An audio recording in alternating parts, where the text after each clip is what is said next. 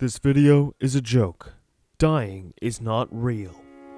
Step 1 Find yourself a way to die. For my death, I chose one of my personal favorites drowning. I'm gonna eat these berries. I'm gonna eat them. I love Thanksgiving and eating food. That's why I got this fork lodged in my throat. Step 2 Start dying. Oh, look at me go. Failed attempt. Let's give it another go.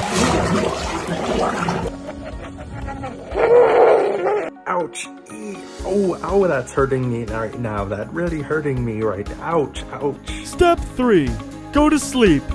Everything is gonna be okay. Bye, Joel. Bye.